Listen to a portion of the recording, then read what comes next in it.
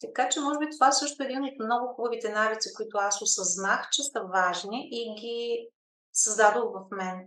Да пия вода сутрин, да пия вода през целия ден по принцип, най-добре преди хранене и задължително да пия вода, като се прибера от работа или чай. Професор доктор Дарина Найденова завършва медицина в Медицински университет Варна и има придобита специалност хранене и диететика. Преминала е през редица курсове и обучение и е специализирана в областта на здравословното и лечебно хранене. В епизода засягаме темата за основата на хранителните навици. Приятно слушане!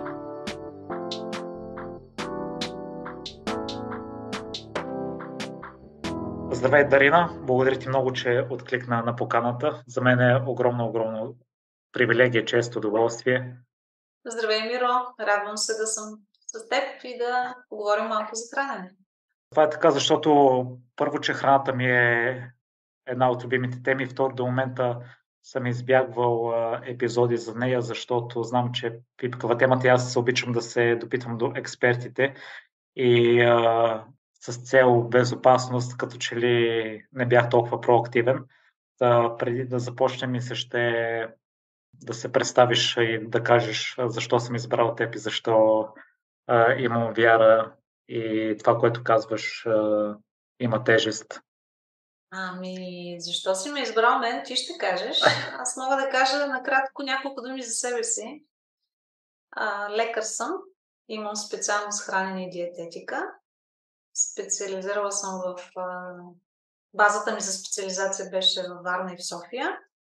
Работя към момента в град Варна, като съм професор към Медицинския университет Варна. Там обучавам студенти основно медици, но също така дентална медицина, фармация и някои други специалности. В сферата на храненето основно са моите експертизи и това ги обучавам. А иначе клиничната ми практика, която е изключително важна за мен като специалист и като човек, защото ми носи голяма удовлетвореност, е в един медицински център, отново базиран на територията на Варна. Това е естетико. И там работя клинична диететика, т.е. хранене при различни заболявания, при различни гранични състояния, даже не е винаги заболявания. Това е най-общо за мен. Доста голям опит имам вече. Трябва да направим едно уточнение. Предполагам слушателите да не вземат на 100% нещата, които ще им казваме, а да ги имат като отправна точка и евентуално да се консултират. Абсолютно. Абсолютно. Предполагам, че ние ще говорим основно за хранене при здрави хора. За съжаление, една голяма част от нашите слушатели вероятно ще имат някакви здравословни проблеми, някои от тях ще имат диагноза, някакво заболяване, което вече е потвърдено, което се лекува или не се лекува. Добре е да знаят, че всички препоръки, които тук ще чуят, касаят само здрав човек. Болният човек има нужда от малко по-специален модел на хранене. Това е така нареченото лечебно или диетично хранене. Често пъти това, което е здравословно за един човек, който е здрав, не е здравословно за човек, който е болен. И даже може да влуши неговото заболяване, да влуши състоянието му. Така че много внимателно при хора с хронични или остри заболявания трябва да бъдат взети в предвид тези съвети. Винаги съветвам хората, които имат проблеми здравословни, да се консултират с лекар относно своето хранене. Аз съм слушал истории на хора здрави, предполагам, които са си влушавали все пак и здравето с следване на някакви диети или хранителни режими. Да, това е изключително често. Една голяма част от пациентите, които аз консултирам, са именно такива, които са били здрави, решили са да направят така някакви сериозни рестрикции. Аз го наричам хранителен екстремизъм това нещо когато много сериозни ограничения наложим в храненето си, без даже да има нужда, последствие на което се появяват оплаквания от една или друга система, от един или друг орган. Това можем сами да си го причиним с някои сериозни залитания в областта на храненето. То е същото и с работата. Нали? Ако прекаляваме с работата, също имаме неблагоприятни последици. И преди да продължим към практическата част, все пак Дарина ще ми е интересно да ни разкажеш кое теб те заинтригува в това да следваш хранене и диететика и след това и да преминеш допълнителни обучения за лечебно хранене. Ами, ако трябва да съм честна, храненето винаги ми е било изключително интересно. Аз съм любител кулинар. Обичам да готвя.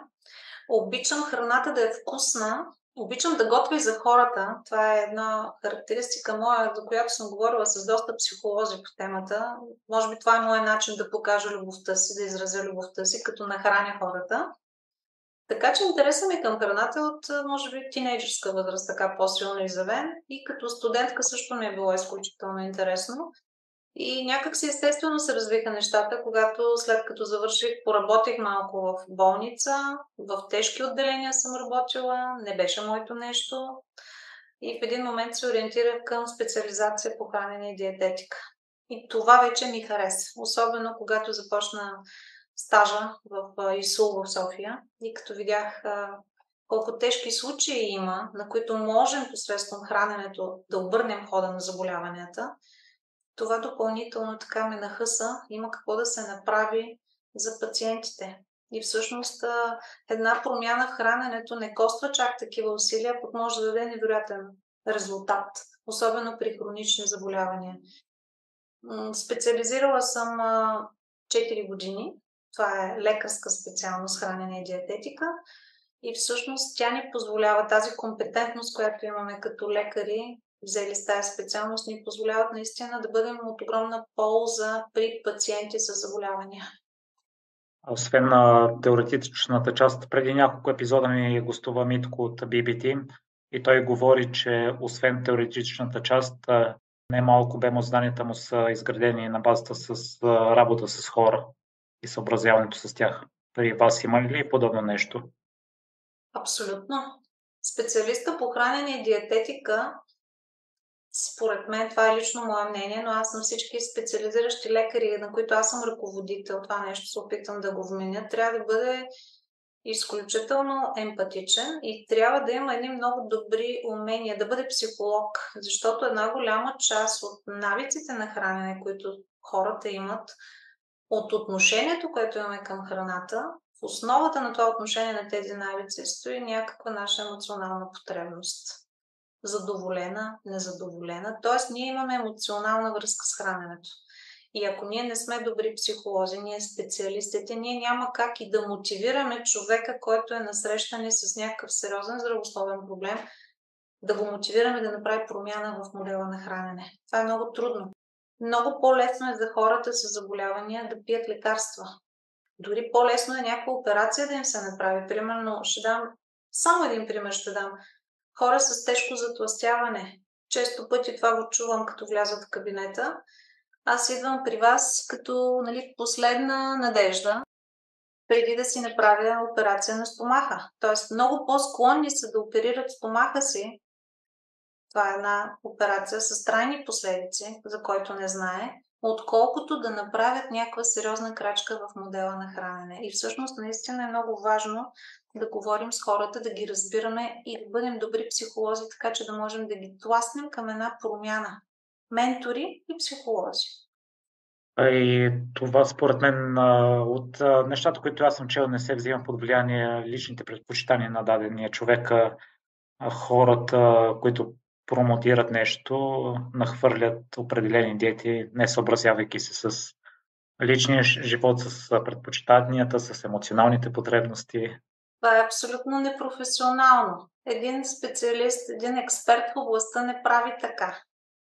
Един експерт първо се съобразява с здравния статус на пациента, второ се съобразява с неговите възможности изобщо да направи промяна Трето, съобразява се с предпочитанията на този човек. Какво обича да хапва, какво не обича, има ли забранени храни за него по някаква причина. Може да е чисто религиозно да не, някои храни да не харесва. И не на последно място се съобразява с целите на този човек. Дори се съобразяваме с семейната му среда, с възможностите за пазарене, за осигуряване на определени продукти, Тоест, едно хранене, един режим на хранене, абсолютно винаги трябва да е индивидуализиран. Няма как универсален режим да го даваме на всички. Това е абсолютно непрофесионално и който го прави не е, не е лекар, не е специалист. Също това, за което Миро ти казваш, най-често то не се прави от лекари, то се прави от хора, които са си сложили отпред една титла, примерно, че са нутриционисти или че са диетолози, но това не означава автоматично, че те са учили достатъчно и че са компетентни да дават съвет на болен човек.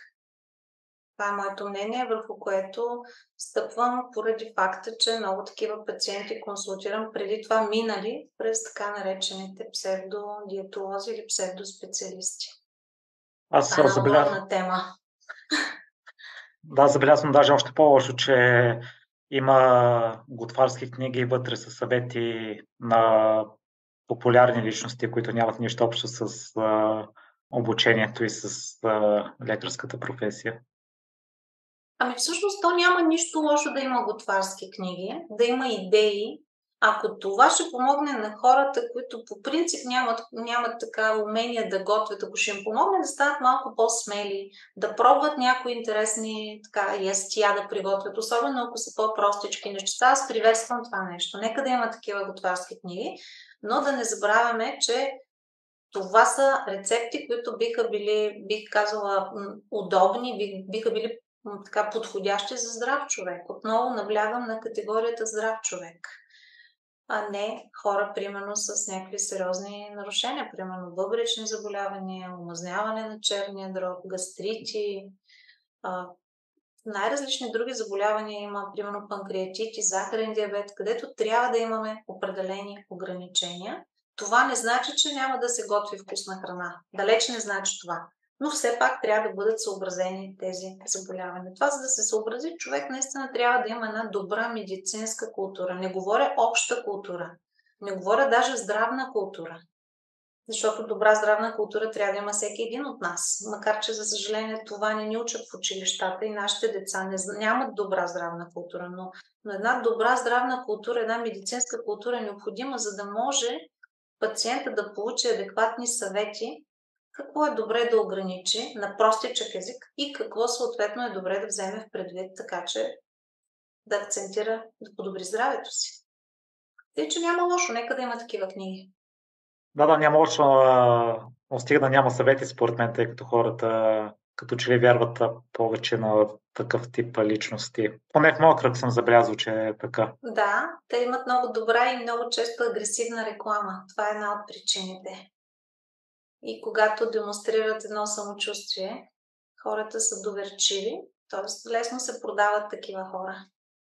И като сложиме нали, за капак и липсата на така много строго законодателство и на, на така наказателни мерки в нашата страна, защото м- дори такъв един човек да направи беля, т.е. да даде съвети на болен човек, този човек нали, съответно да се влуши, нямаме особено така добри инструменти да го накажем, съответният псевдоспециалист. Трябва пациента, т.е. в случая даже не е пациент, клиента да подаде жалба, да подаде оплакване, ама трябва да стъпи пак върху, пак върху някаква документация, за да докаже, че е получил този съвет, а пък тези псевдоспециалисти много често бягат от такова обвързване. Там няма амбулаторен лист, няма нали, информирано съгласие, подписано от клиента в случай и така нататък. Така че за нашите слушатели това е...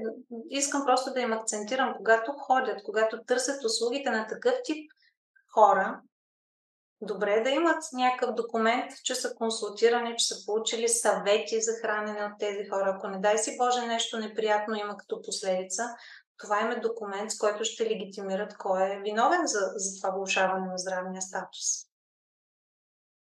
И дали напреди да преминем към основната част, мисля ще да ми кажеш твой опит с хранителните режими, с хранителните навици. Променял ли се през годините? Ако се е променял, защо се е променял? Да, да, разбира се, че се е променял. А, бих казала, че много сериозна промяна имах в модела на хранене, когато бях ученичка в последните класове на гимназията. И аз като повечето тинейджери спрях да закусвам редовно тогава. То мисля, че почти всички го правят това нещо. То е част, според мен, от порасването и от а, а, репертуара от грешки, които всеки един от нас трябва да направи, за да си направи съответните изводи Така че имах един дълъг период от време, в който силно подценявах закуската, защото наистина, нали, сутрин имаш къде-къде по-важни неща да правиш, да се приготвиш в последния момент, да прочетеш там някакъв урок, даже домашно да напишеш. Аз бях от децата, които си пишеха домашните преди много години. А, този период продължи дълго и след това като студентка, тъй като тези от вас, които не знаят, студентите по медицина са едни от най-натоварените студенти. Значи нашето ежедневие беше от 7.30 започнаха упражненията ни и масово имаше нали, дни в седмицата, повечето дни от седмицата са били до 5.30-6. Това е една много сериозна ангажираност на медиците, затова и медиците нямат толкова много време за купони, нали, а, тогава няма как да имаш много оптимално хранене. Много често сутрешната ми закуска е била някаква ябълка там за по пътя, изгризана или пък една шепа ядки. И даже сега като се виждаме с колеги от университет, аз съм завършила доста отдавна, някои от тях си спомнят точно това, че са ме запомнили с гризането на ябълки между упражненията и лекциите. Аз не си го спомням, но така казват колегите, че много ябълки съм гризяла. Аз обичам ябълки всъщност. Пък и преди толкова години цитрусите не бяха много достъпни при нас. Предимно, да, ябълките бяха по-лесни за, за консумация плод. Така че единия навик, който загубих в тази си възраст, докато бях активно обучаваща се, беше сутрешната закуска. После си го възстанових до момента, в който родих първото си дете и тръгнах на работа. А, сутрин рано трябваше да съм в болницата, сина ми беше много малък, трябваше и за него да се погрижа, ясли и така нататък. И всъщност тогава пак спрях да закусвам. Даже тогава спрях понякога да пропускам и обяда. Просто беше много натоварен делника ми. Работеш лекар, няма как. Тоест, той има как, ама тогава не съм осъзнавала, че това е толкова важно. И това, което на мен ми се случваше, че аз изключително бързо губех килограми. Просто като се случиха 2-3 дена без хранене, аз веднага олеквах с килограм, килограм и половина. Това не беше чак такъв проблем, въпреки че не ми харесваше, но ми падаше много и капацитета, много ми падаше енергията. Тоест аз нямах тази енергия, която обичайно съм свикнала да имам. И в един момент осъзнах, че ако аз пропускам сутрешна закуска и особено ако ми е много интензивен преди обед да пропусна понякога и обяда, на мене батерията ми пада, аз угасвам и е абсурд да свърша всичката работа, дето ме чака. Така че започнах да закусвам отново редовно и трябва да ви кажа, че трябва да ти кажа, че този навик може би от 20 на години си ми е абсолютно задължителен. Аз закусвам. Сега, в зависимост от това колко съм гладна и какво ме чака, може да е нещо леко. Може да е някаква символична закуска. Примерно днес съм яла кисело мляко с череш. Но когато съм гладна и когато знам колко ще напрегнат деня ми, ще си закуся много стабилно. И това ми дава една изключителна емоционална стабилност.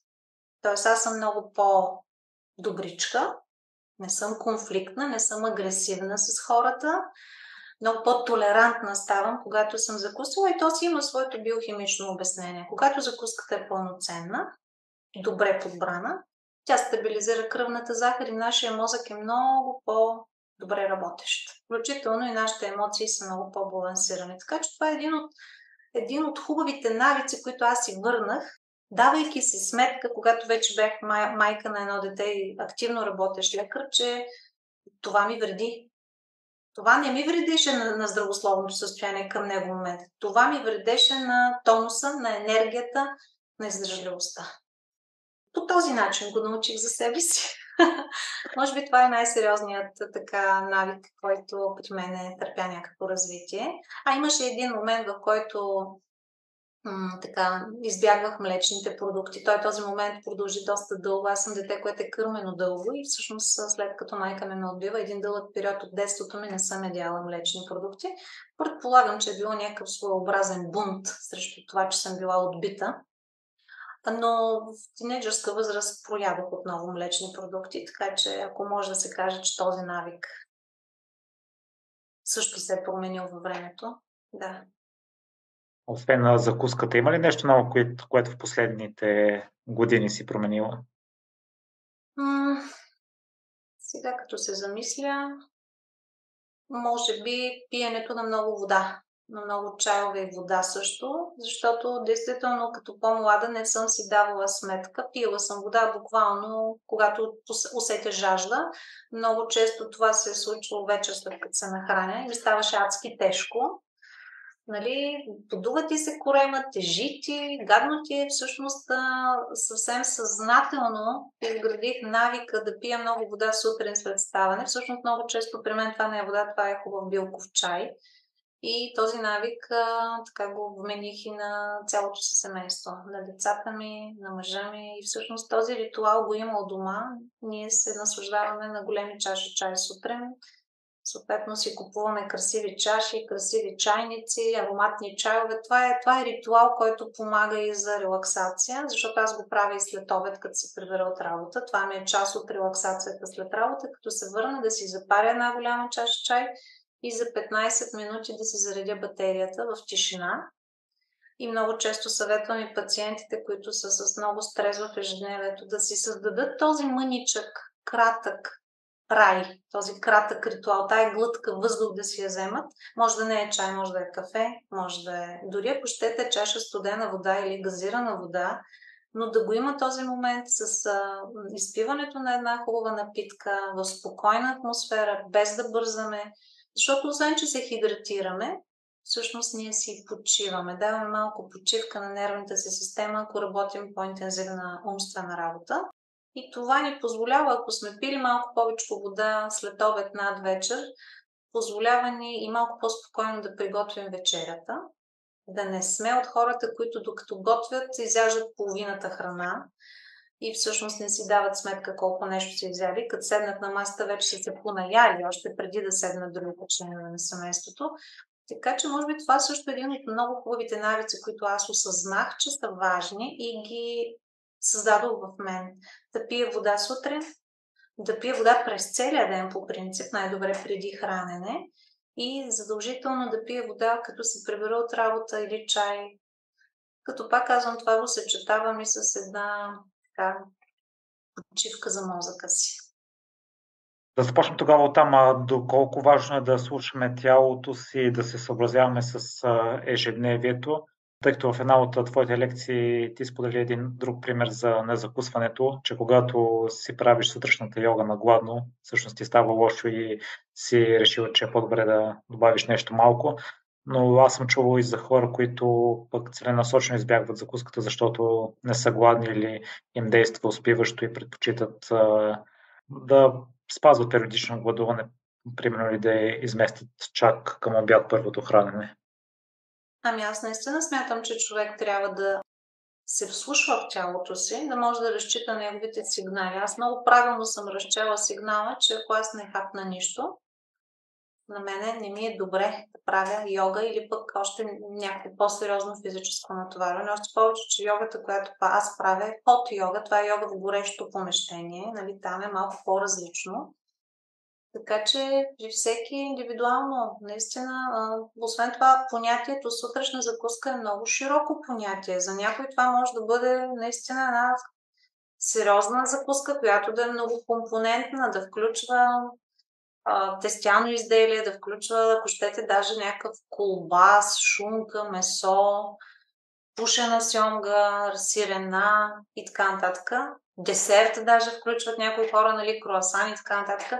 А за други тази закуска може да бъде супер символична. Примерно това може да бъде кофичка кисело мляко, разбито и изпито на ирян. Или може да бъде, ако щеш, даже една шепа бадеми с а, един банан. Или пък в моя случай, това, което аз хапвам преди йога, нещо наистина мъничко по обем, за да не ми тежи и да не ми пречи. Това може да са няколко изсушени смокини с примерно 5 бадема. Това е много символична закуска, която обаче пък ми помага да ми се стабилизира нивото на кръвната захар и аз да не правя хипогликемия по време на йогата, да не ми причернява пред очите, да не се разтрепервам.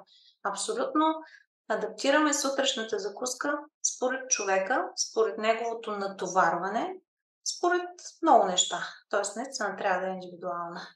Има хора, които наистина нямат нужда от сутрешна закуска, не се чувстват гладни. Такива хора първо ги питам, пият ли много кафета.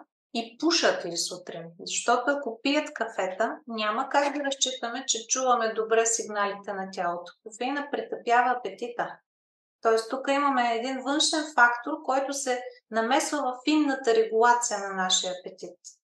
Така че добре е това да се има в предвид. Нали, много хора казват, аз не съм гладен до обяд и като го поразпитаме, се оказва, че всъщност той човека до обяд изпива 2-3 кафета, нали, всеки път е с цигара или може да е и без цигара, но това притъпява силно апетита. Нека не го забравяме.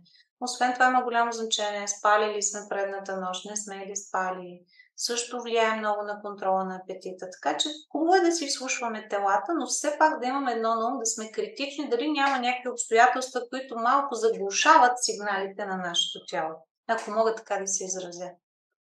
И ако пък не закусва един човек, ако наистина няма нужда да закусва, добре поне да пие повече вода, напитки, които да го хидратират, тъй като цяла нощ ние не пием, нали, спиме, не пием и всеки знае сутрин колко е тъмна урината.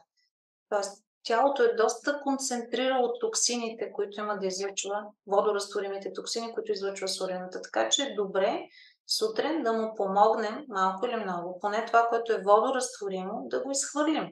За целта трябва да изпием поне така 2-3 чаши вода, чай.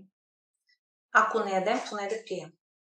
И ако искаш да довършим за течностите, тъй като и според мен те са едни от най-важните и от много хора съм чувал и виждал, че не пият достатъчно течности. Водата е задължителна. За чай, за кафето съм чувал, че дехидратират и е хубаво да ги компенсираме, но пък от друга страна съм чувал, че се съдържа достатъчно вода в тях и не е необходимо допълнително да компенсираме изпитото кафе или чай с допълнителна вода. Ами, тук, ако ми позволиш, ще направя едно уточнение. Всъщност, ние българите, като казваме чай, разбираме доста различен вид напитки.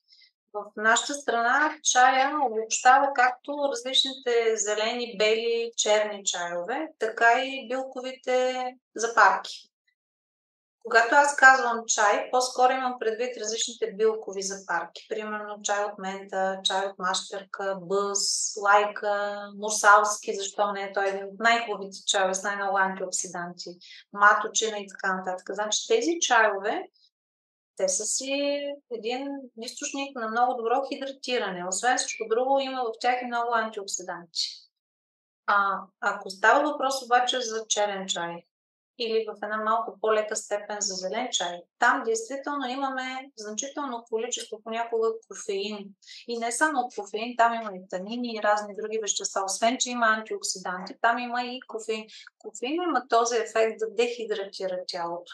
С това тези чайове по-скоро ги причисляваме към тонизиращите напитки към кафето, към енергийните напитки даже, макар че енергийните напитки те са малко по-различна категория, но пак имат много кофеин. Всички напитки с високо съдържание на кофеин дехидратират и по тази причина не можем да разчитаме само на тях като източник за хидратация. Добре е, ако пием такива напитки, дали ще е кафе, дали ще е черен чай, да пиеме и вода. Просто това е задължително. А пък умерената консумация на зелен чай или на черен чай не е проблем за повечето хора, освен ако не са хора, които имат много ниска активност на ензимите, които разграждат кофеина. Защото това е генетично детерминирано. Има хора, които бързичко разграждат кофеина и те нямат така особено неблагоприятни ефекти от консумацията му.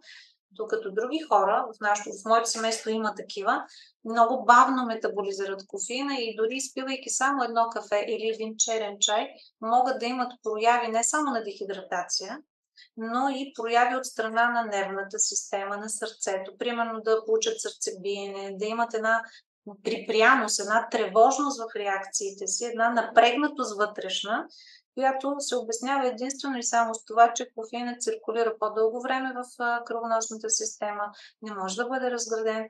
Такива хора не е добре да пият много такива чайове. Защото черният чай, той е много вкусен, ароматен и може много лесно да се предозира човек с, особено нали, този, който е турския, примерно, който е подсладен. Не случайно тези напитки традиционно в страните, където те са част от културата, от, така, от кулинарната им култура, се поднасят в малки чашки. Нали, те са в едни мънички такива напръсничета. Дори зеления чай, който се прави в Япония, се прави в едни много малки съдчета. Това не е чай, с който да се напиваш, да изпиваш литри от него. По-скоро се пие малко и се пие вода за хидратация.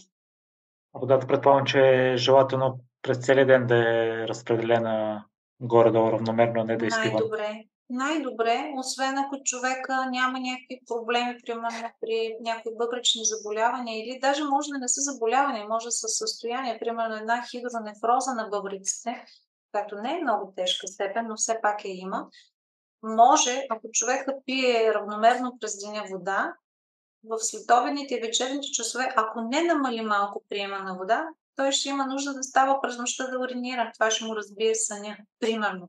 Тоест, ако имаме такава особеност, е добре да му дадем съвет основните количества вода да ги изпива преди обед до ранен след обед.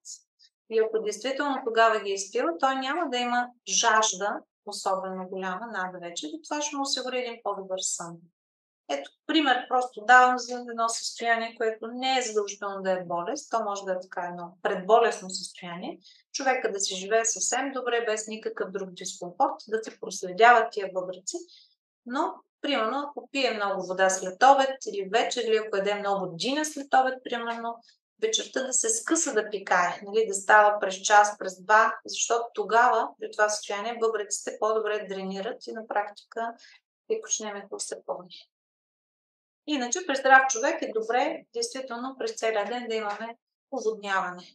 Дарина, с а, Митко от BB Team друго, което си говорихме, че 90% от а, нещата са простички и е хубаво да се съсредоточим най-вече върху тях.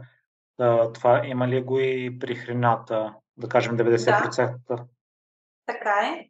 И аз винаги се опитвам да обяснявам на моите пациенти, за да ги мотивирам да направят промяна, винаги се опитвам да им обясня простичките неща. Човешкото тяло всъщност не е толкова сложно. Нашата физиология не е толкова сложна. Тя може да бъде обяснена простичко и всъщност и храненето може да бъде да му се намерят, логиката да се намери. В храненето има много логика. В функционирането на нашето тяло също има много логика. Така че не са толкова сложни нещата. Но трябва да бъдем широко скроени. Защото сме изключително разнообразни хората и това, което за някой е окей, за друг му изобщо не е окей. Така че не бива да слагаме граници, трябва да анатемосваме по-различния модел на хранене и по-различните нужди. Да, затова започнахме с слушането на тялото, тъй като то ми струва, че е основното и вече след това вече идва напасването. И дали не мисля, че изяснихме тези 90% за водата и на напитките. А, кажи си твоето мнение за алкохола преди да преминем към храната, тъй като и това е често употребявана напитка, забелязал съм от българите. Ами, ако трябва съм честна, аз не пия. Не защото има някакви последици здравословни, а защото не ми носи удоволствие алкохола. Така че може би тук загубихме половината аудитория, която ни слуша. А, но ако трябва да изразя едно обективно мнение, малки количества алкохол не смятам, че на здрав човек могат да му навредят. Напротив, те си имат своето място в ритуалите, в празниците, които ние имаме. Нали, те са ни закодирани в традициите, така че малки количества алкохол при здрав човек мисля, че са окей. Okay. Макар, че има много проучвания, които показват, че няма безопасна доза алкохол, дори за здрав човек. Но това е една много дълга тема преди се смяташе наистина, че безопасната доза алкохол е около 30 грама концентрат за жена и двойно повече за мъж. Или чаша вино за жена, две чаши за мъж. Сега вече имам съвсем нови проучвания, които показват, че това не е точно така. И като се вземат всички други фактори в предвид, дори малките количества алкохол могат да бъдат в дългосрочен план така обвинени за някои злополучия, за някои здравни последици. Но нека да не бъдем толкова крайни, защото това вече не звучи никак забавно и приятно. По-скоро, моето мнение е, че алкохола трябва да бъде наистина за удоволствие и с мярка. Като много други неща, каквито са примерно и десертите. Не ги отричаме, не ги отказваме, това не е необходимо, но трябва да, да бъдат все пак едно разумно количество. Не за наяждане, както и алкохола не трябва да е за напиване и за отоляване на жаждата, да бъде по-скоро като нещо, което правим за удоволствие. Малко. Не на гладно. Тъй като алкохол на гладно много зле се отразява и на нивата на кръвната захар и така нататък. А, дори при здрави хора не е добре да се експериментира с алкохол на гладно. И Дарина за храната, това, което според мен ми се струва валидно за 90%, в тези 90% са цели непреработени храни с прием на плодове и зеленчуци. Миро, дали ще те очудя много, ако ти кажа, че това правило пак не е общо валидно. Аз много обичам да пътувам по света, да ходя на места, които не са особено така популярни туристически дестинации. И разбира се, начествам си крастата, като разпитвам за модела на хранене в тези райони на света, за традиционния модел на хранене. И всъщност има доста народи, доста етноси, където плодовете и зеленчуците далеч не съставляват по-голямата част от менюто. Ще дам само няколко примера, ако ми позволиш, ако има време. Единият пример, това са масаите. Масаите са едни номадски племена, които живеят в Африка. Имах удоволствието да вляза в едно такова племе преди няколко години. Доста труден е достъпа да влезеш и да видиш какъв им е поминъка, какъв им е бита, как се хранят. Всъщност традиционната им диета включва почти 100% краве мляко. От време на време това мляко е смесено с кръв. Това е ритуалната напитка, която се прави при различни там ритуални тържества, обреди, срязват а, югуларната вена на кравата, пускат малко кръв, с която я разрежат в мляко и разбира се от време на време да ти месо. И много рядко консумират зърнени култури, за плодове и зеленчуци да не говорим. Това е традиционен модел на хранене. Те са изключително стройни тези хора, с много добри репродуктивни функции, т.е. раждат до късно, плодят се и така доста многодетни са. Тоест, има, има, има народи, където далеч не са плодовете и зеленчуците така издигнати на пиедестал. Отново трябва да се съобразиме с особеностите на етноса, отново трябва да се съобразиме с това къде живеем, дали нашата територия ражда тези храни, т.е. регионалното хранене е много важно. Какво ще кажеш за еноитите, нали, които живеят в Аляска?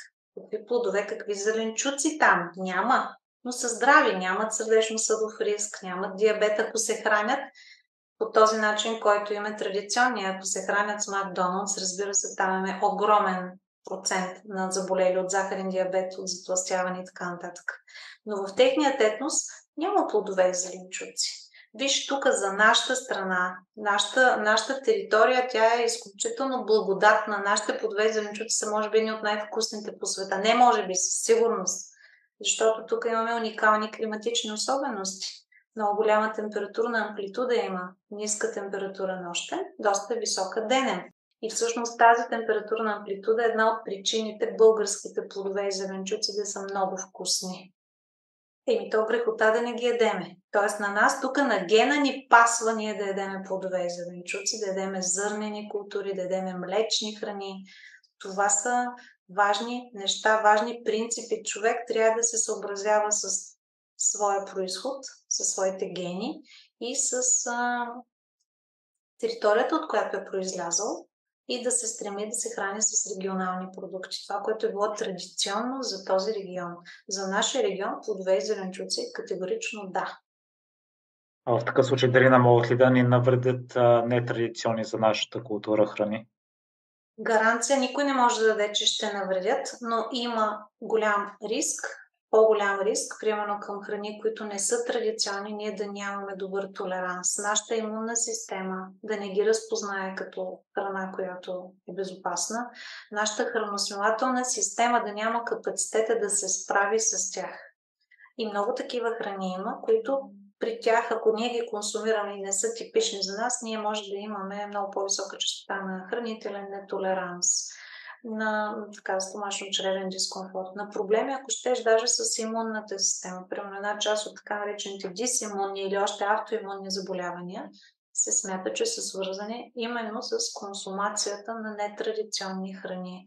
Тъй като нашата имунна система, един от най-големите компоненти, това са нашите черва. В черевната лигавица има компоненти на имунната система и всъщност тя комуникира имунната ни система с тези продукти, тези храни, които попадат в нашите черва. Това е много интимна комуникация. Тя може да стимулира свръх много имунната система и ние да имаме, примерно, такива неприятни заболявания, като ако щеш, даже най-често срещаното в днешно време дизимунно заболяване, това е тиреодита на Хашимото, примерно. Но много други има. Не е нужно само това да даваме за пример. Примерно за нас, българите, не е особено добра идея да се консумират соеви продукти. Аз не спирам това нещо да го повтарям. Соята може да е много богата на белтък, обаче ние нямаме добър капацитет да се справим с нея. Тя е прекрасен източник на белтък и на много други хранителни вещества за азиатците. И там всъщност е била традиционна храна и продължава да е традиционна. Докато при нас по-скоро ние имаме добър афинитет, большинството от нас българите, винаги има изключение. По-скоро толерираме много по-добре качествените млечни продукти, особено тези, които са ферментирали. Тъй като соята много често се дава като альтернатива на млякото, затова дадох този пример. Даже днес имах сутринта комуникация с пациентка, която има чревни проблеми и ни понасят млечните продукти. Тя казва, може ли да ги заменя с соеви продукти, соево мляко, соево тофу и така нататък. Още по-зле стават нещата. Ако човек от нашата европейна раса, който не понася мляко, мине на тофу или на, на различни там соеви изолати. Така че давам просто пример. И обратното, един азиатец не може да толерира млечни продукти добре.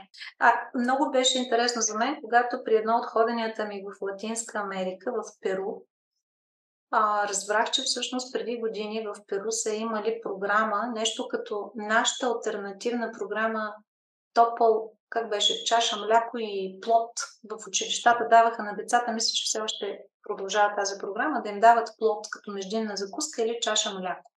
Подобно нещо са въвели преди години в Перу, в високопланинските региони, където населението страда доста сериозно от недохранване, поради бедност, поради липса нали, на достъп до разнообразна, храна и така нататък. Такава една национална стратегия са направили.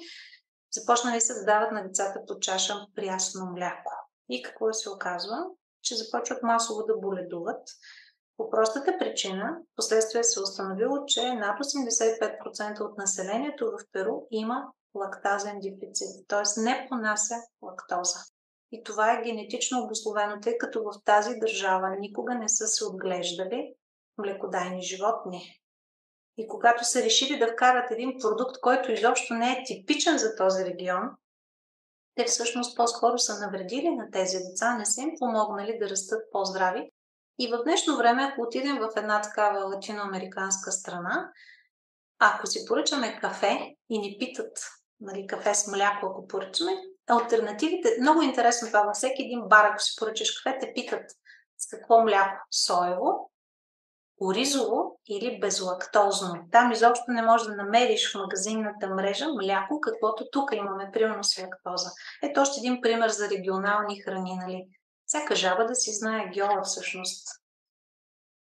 Но това за мен беше много интересно, нали, което там разбрах.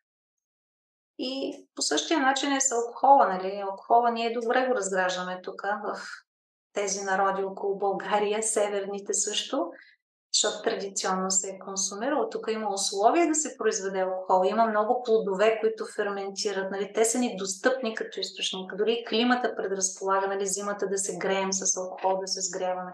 Докато в някои народи, примерно в а, Латинска Америка, по- по-силно питие от бира не са познавали. Всъщност се напиват много от малки количества концентрат. Същото е и с азиатските народи. Това също то е популярно, то е известно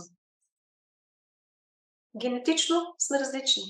Не само външно, ние сме различни като толеранс към храни, като капацитет да разграждаме някои хранителни вещества, да ги толерираме. Много сме пъстри като свят.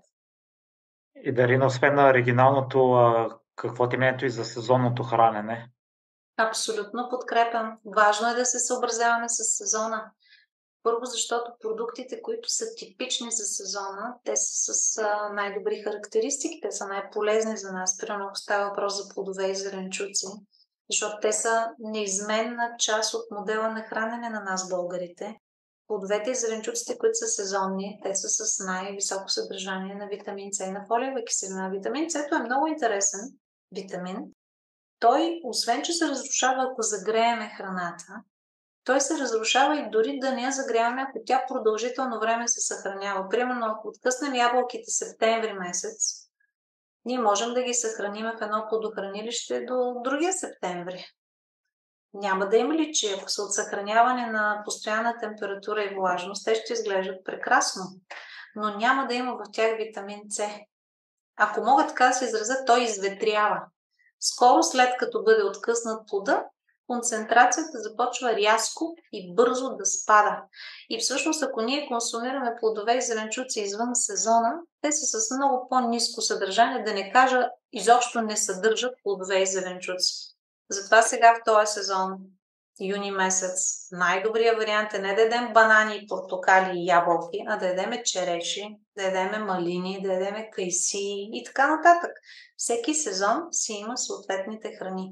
Трябва да се съобразяваме с това. Ако храната е извън сезона, много често тя е набрана и, и екзотична, примерно, тя е набрана доста в по-незряло състояние, транспортирана е дълго време, тъй като добре озрелия плод или зеленчук, той не търпи продължителен транспорт, той се разваля.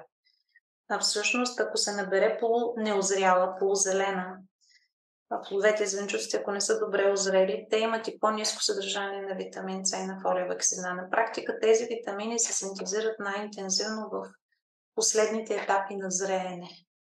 Така че ядем ли го извън сезона, много често то е набрано полузелено, дълго време е съхранявано и няма кой знае каква полза. Да не говорим, че не е вкусно и всъщност ние си правим лоша услуга, ако даваме на децата си храни, които са извън сезона, защото те не са вкусни и децата свикват, че този вкус не е така приятен и не ги искат.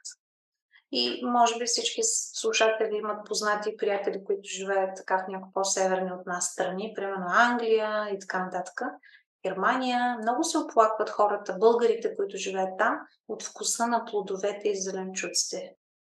Моя син, който учи в Англия, каза, че там много малко неща стават за ядене от плодовете и зеленчуците, а това е дете, което обожава плодове и зеленчуци. Той каза, там единствено спанака, чери, доматите и авокадото стават за ядене. Всичко друго е откровенно гадно на вкус.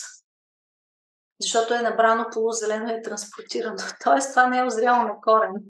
Така че стремим се да дадем сезонни храни. Освен това, сезонните храни, те са съобразени, ако щеш, даже и с климатичните особености. Лятото при нас, когато е горещо, и ние спонтанно имаме нужда от диня, от праскова, от таратор, от шопска салата. Това са леки храни с много високо съдържание на вода т.е. подпомагат нашата хидратация, защото лятото и се почим. И освен това, лятото ни пада базалния метаболизъм, ние по-малко калории горим, като е такава жега. А пък зимата, за да можем да си поддържаме телесната температура, нали, тя е константа при човека, не сме студенокръвни, ние всъщност трябва да изразходваме и доста калории, някои от нас, за да генерират топлина, ако работят примерно на студено или ако живеят на студено, трябва да си поддържаме температурата. Това е свързано с разход на много повече калории, т.е. ускорява се основната обмяна. Част от калориите се насочват за терморегулация, това означава, че трябва да дадем и по-калорични храни. Тоест няма как динята да караме на диня пъпеш и таратор. Трябва нещо сготвено, нещо, което е нали, с повече въглехидрат, с повече мазнина, с повече белтък. Тоест готвена храна. Той без друго зимата при нас не можем да изкараме. Няма толкова пресни плодове и зеленчуци и разчитаме нали, на някой ядене. Не случайно народа зимата е колел прасето, нали, са хапвали малко по-влажно и по-стабилно. А пък лятото се карали на таратори на питка, примерно, или на хляб, сиренце и лук и така нататък. Така че трябва да ги съобразяваме тия неща. Различни сезони, различни храни пресни, но и различни изисквания към нашето тяло. Адрина, като сподели, че витамин С се изпарява, какво ти е мнението за замразените? по-скоро се, се, не се изпарява, то се разрушава, но аз по-скоро използвах думата, че изветрява. А, изветрява. да, да, да. в такъв случай мнението ти за замразените плодове и зеленчуци? Ако те са шоково замразени, нали, това е съвременната най-добра технология, бързо шоково замразяване, тогава се запазват по-голямата част от витамините в тях. Така че не бива да ги подценяваме. Тези шоково замразените зеленчуци всъщност ни дават възможност много по-разнообразно да се храним. Особено ако човека няма много време и трябва много бързо да направи нещо за хапване вечеря, за вечеря, примерно, върти се от работа, ако в фризера му има от тези шоково замразени зеленчуци, това е много лесен и достъпен начин да направи някакво зеленчуково ястие. По-добре, отколкото нали, само примерно бургери или само там пица замразена. Всяка порция зеленчук допринася да живеем по-добре. Всъщност това е така наречения испански парадокс. Не знам дали нашите слушатели са чували. Има, има такъв термин. Има френски парадокс. Френският парадокс е, нали, че като пиеш чаша червено вино, намаляш сърдечно-съдовата смъртност заради, богат, заради съдържанието на резвератрол в червеното вино. Това е един много мощен антиоксидант, който пази кръвоносните съдове. А испанският парадокс е, че всяка порция допълнителна зеленчуци намалява риска от смърт и удължава живота. Защото дори с 20-30 грама да увеличим вноса на зеленчуци на ден, ние правим нещо добро за здравето си. Така че дори замразени зеленчуци да са, дет се казва една шепа да са, 100 грама да са към месото или там към другото ястие, което сме се приготвили, това отново е добре за нашето здраве. Компромис е, нали, ако нямаме опция свежи зеленчуци да направим, по-добре замразени да си направим. Те, те се готвят изключително бързо. Слагаме ги в един нагорещен тиган тип лок или ги пускаме, примерно, замразени броколи, карфиол в вряща вода и за 5 минути най-много, даже по-малко, имаме зеленчукова гарнитура, която не е никак лоша. Велина сподели за особеностите на различните сезони. Аз съм почитател на пълноценното хранене, т.е. в деня да има и въглехидрати, мазнини и протеини. Предполагам, че това също е общо валидно с изключение на изключенията, които даде като пример? То изключение има много, аз просто дадох само два примера. Тоест ти си почитател на така нареченото балансирано хранене. Ако правилно съм те разбрала, в което има от всичко. Да. Да, аз също съм почитател на балансираното хранене. Никак не харесвам крайностите в моделите на хранене. Те не са необходими и общо взето ни докарват в някакъв момент проблеми. А, хубаво е при здрав човек да има и белтъчени достатъчно, и въглехидрати, и мазнини полезни предимно. Хубаво е да има и плодове ежедневно, да има няколко порции зеленчуци даже, не една, а поне две-три. Аз лично винаги давам съвета при здрави хора на всяко основно хранене, което е солено хранене, да има порция зеленчук. На всяко хранене, което не е солено, може да има порция плод. Или пък плода може да бъде така между храненията с малко ядки, с малко млечен продукт. Или просто да бъде в една малка порция като десерт след основно хранене. Под солено хранене имам предвид, примерно, класиката в БГ жанра, примерно сандвич някакъв. Добавяме му на този сандвич малко зеленчук, примерно домат, сирене и хляб, класика. Или може да бъде солено хранене, примерно някаква супа, ядене, салата. Това за мен е солено хранене.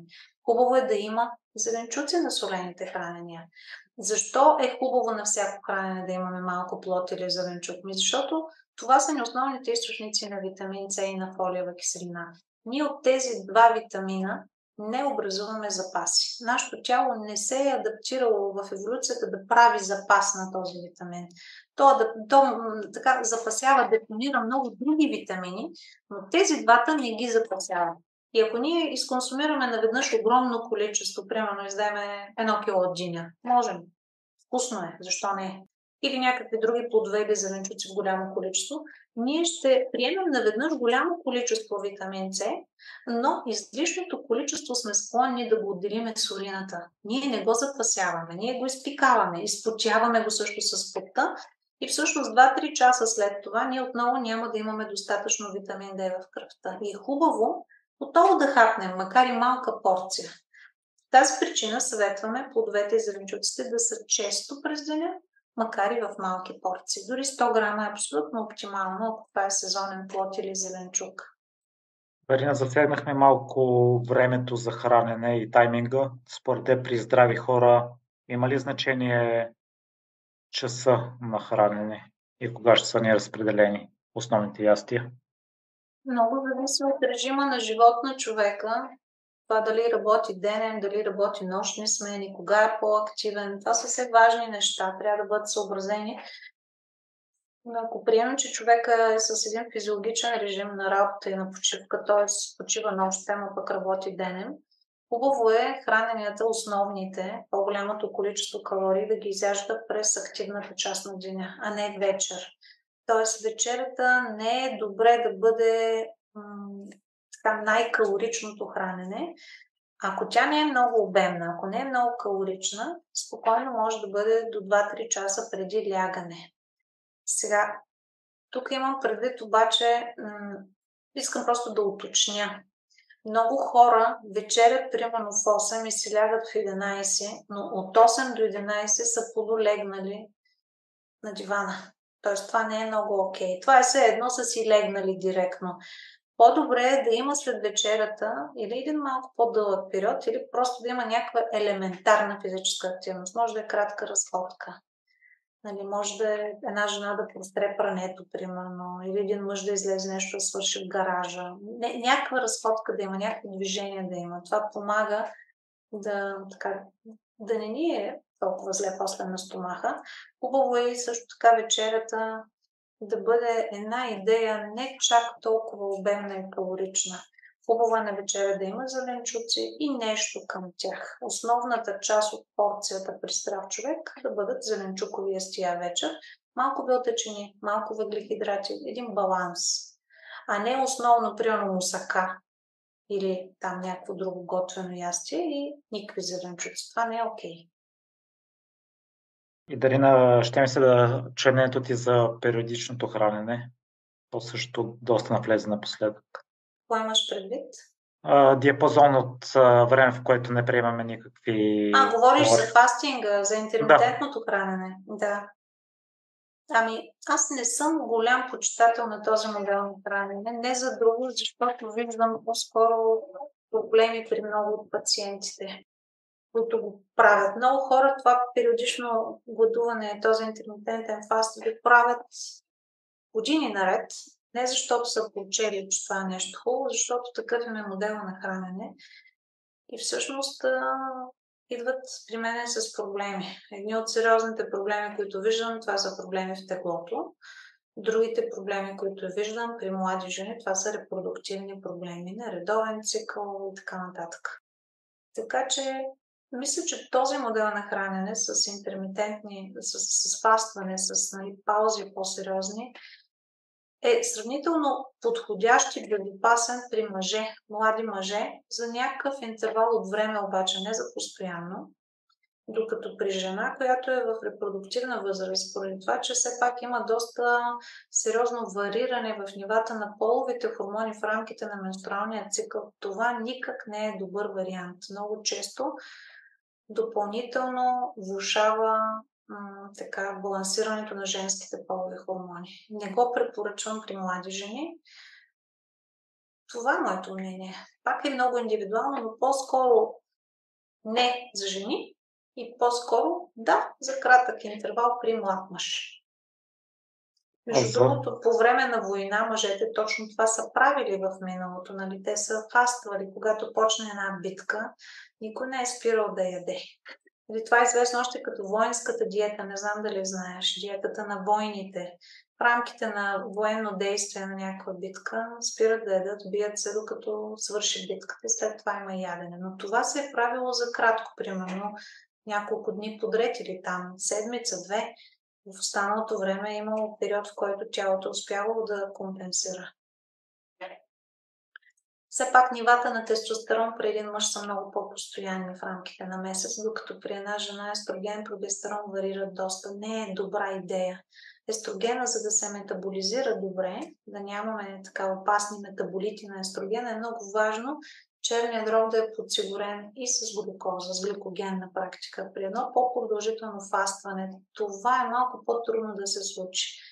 Да не говорим, че метаболизирането на щитовидните хормони, тяхното активиране също изисква добри нива на стабилна кръвна захар, добри нива на гликоген, което при фастване отново не винаги компенсира организма, не винаги може да поддържа стабилни тези показатели. Пак е много индивидуално. Метаболизма на някои хора е такъв, че предразполага към хипогликемия, към сриване на нивата на кръвната захар. При други това не се случва.